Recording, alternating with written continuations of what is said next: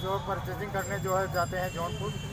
और जो सोमवार के दिन हमारे यहाँ जो है बंदी रहता है। जितने भी व्यापारी छोटे बड़े सब लोग जो परचेजिंग बाहर माल करते हैं। और यहाँ से गए थे वो लोग जो है जौनपुर। जौनपुर, मालीपुर में अपनी गाड़ी बाइक जो रख दिए थे। और जैसे ही वहाँ से निकले मरुया आश्रम और बुआ पाकड़ के बीच में जो है, एक जो ब्लैक पल्सर था जो है और उसी को जो ओवरटेक करके दो लोग जो हेलमेट लगाए थे उन्होंने सटा करके पीछे से गोली मार दी।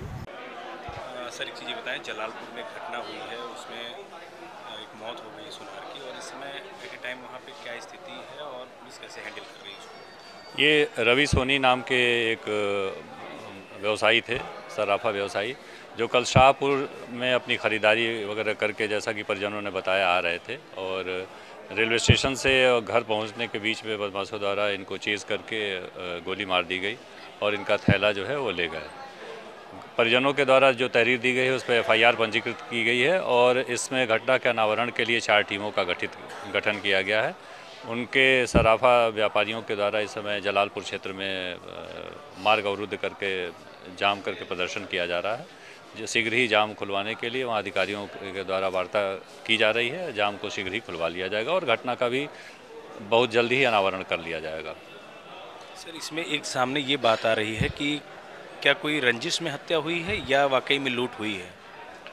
अब विस्तृत पूछताछ परिजनों से जानकारी करने के बाद ही आ, सामने आ सकेगी। क्योंकि अभी पंचायतनामा पोस्टमार्टम की कार्रवाई की जा रही है और परिजन भी शोकाकुल हैं।